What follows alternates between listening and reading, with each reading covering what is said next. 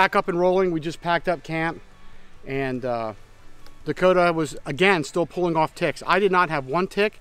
He's had like five or six on him that he had to remove with his little tick tornado tick key thing, but but whatever. I treat my clothes with permethrin. That seems to work. I'll probably die of cancer from it, but um, I won't have ticks. But today's going to be a big day. We got about, what, 26 miles? Yep. So we got about 26 miles to do today. He keeps swearing that the terrain is easier because he did the East Loop already uh, like a month or two ago. And he's saying the terrain is easier, so I'm going to hold him to that. So we got about five or six miles to the connector that would take us back to the car, so we'll make our decision then. But um, so far, we're feeling pretty good, so we're probably going to try to push the whole 26 long miles of the Chuck Keiper Trail.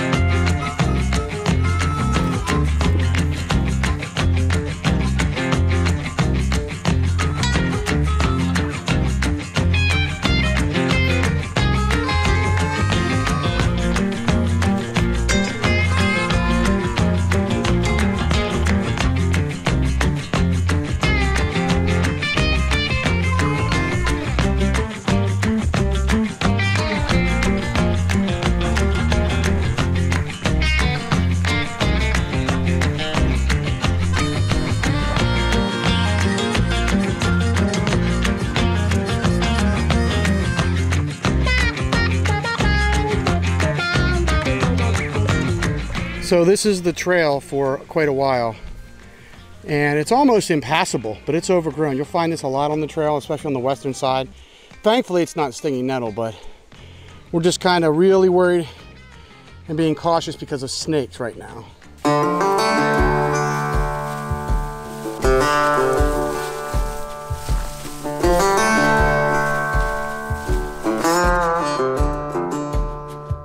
Made it to the cross connector and basically since this trail is made up of two loops, a west and east, you can continue on and make one giant loop or you can take the connector and it will, both trails meet at the connector, they join there and then you can get back to the, to the parking area.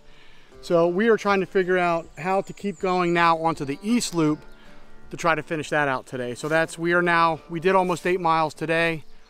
We still have about 18 more to go and it's what time is it? It is almost 10:30 so we're gonna try to push it out. And he keeps saying it's not quite as bad as the west side because he did the east side before but I don't believe him. So we're gonna try to figure out where which direction we need to go and then we're gonna keep on keeping on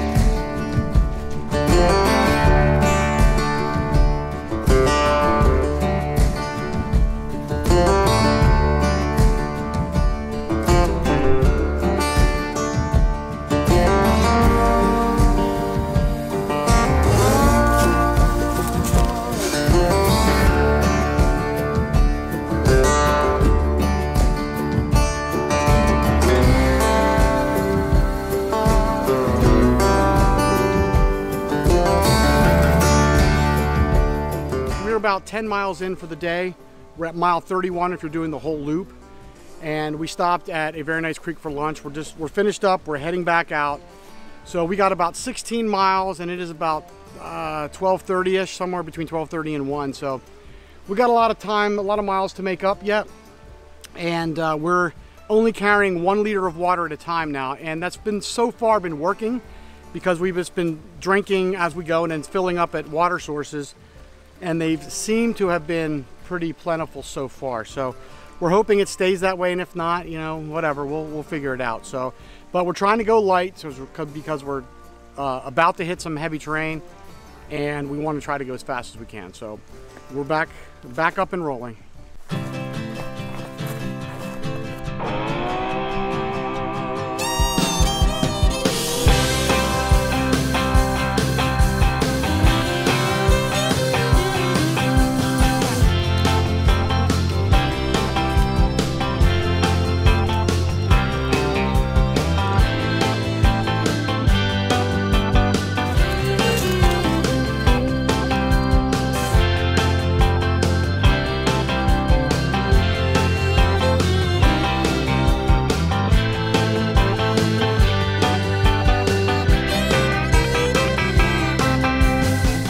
We're at mile, almost at mile 36, probably 35 and three quarters. And that's for the trail, not for the day. We're about almost at mile 15 for the day. And it's only, what time was it? Three o'clock, 3.30? 315. About 3.15. So we're making pretty good miles, but we're about to climb up some hellish ascents again. So um, we're gonna end up slowing down, but we're looking maybe to get back to the car at like eight or nine o'clock tonight. So um, we're gonna have to get moving because we've got about 11 miles left for the trip.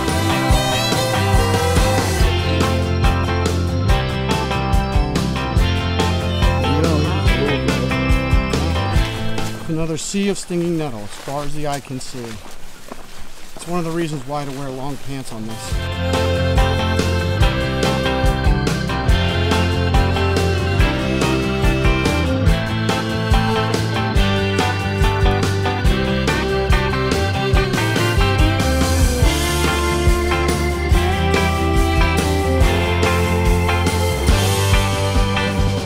The terrain has been horrible. It's probably 6.30. We got about eight miles to go. And the terrain is just hard. so many blowdowns and you have to get on your stomach to crawl through. And now stinging nettle waist high, sometimes chest high. And now to top it off, it's raining on us. So we think the plan is we got about three and a half miles to get to Route 144, which the trail cross crosses several times and we think we're just going to take the road for the next couple miles back uh, to the car because this trail is poorly blazed. It's it's not defined at all, so if there are no blazes, you're screwed. So, and we don't want to do that at night. So it's just it's not fun at all. So we're just gonna hit the road and call it from there. So I'll check back in with you in a little bit when we get to the road.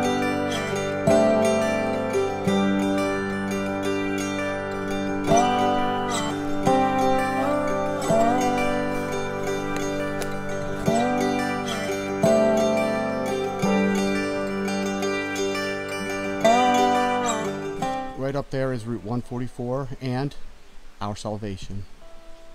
We are currently on Route 144 and uh, trail miles today we hiked because we stopped at um, I think it was mile 21 we were still on the west loop so we did the west loop into the east loop and total miles for today hiked on trail was 22 miles so we have a road walk now because we're just going to get off the trail we decided just to mutually just we're, just, we're going to take the road back because the trail just wasn't fun. I mean, it was just such rough terrain.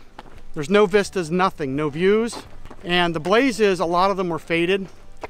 And the one thing that I really noticed is when there are two blazes and you have one and one on top, if the blaze on top is off to the right, that's supposed to be in a right turn. And if it's off to the left, it's supposed to be a left turn. If it's right above it, it's supposed to mean, hey, watch out, there's, you know, something to watch out ahead. Well, they didn't do that. A lot of them, they were just right above each other. You had no idea where the trail turned. Sometimes it was offset to the right. You think it's a right turn. It was like a hard left turn. And the trail itself, I mean, there was a lot of comments in all trails about how crappy and bad the trail was. For a while there, I was like, nah, it's, you know, just some rough terrain, but no, it is crappy. We had chest high stinging nettle today, and I'm not kidding, it was chest high. A lot of the trail was totally overgrown you couldn't see the trail. You had to stop and look for blazes. I mean, and then when it was clear, the trail itself was not really defined. So this is a very lightly traveled trail. And I would say about 65 to 70% of the trail, you're walking on the side of a mountain slanted. And then it gets overgrown. It's very hard to, it's just not fun. You're hiking and there was nothing really worth hiking for because you there was no vistas, no vistas at all. Actually, the best vista was the parking lot. There was an overlook at the parking lot. You know, would I do this trail again? Absolutely not. And would I recommend it for anybody? No. I mean, some people may like the challenge, but I wasn't out here to conquer a trail. You know, I was out here to have some fun and hike, and it just was miserable. The blowdown, oh, you'll read in the comments on all trails too that there's so many blowdowns. There were.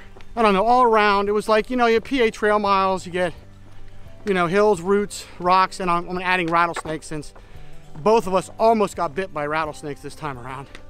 Very close, me almost in the face.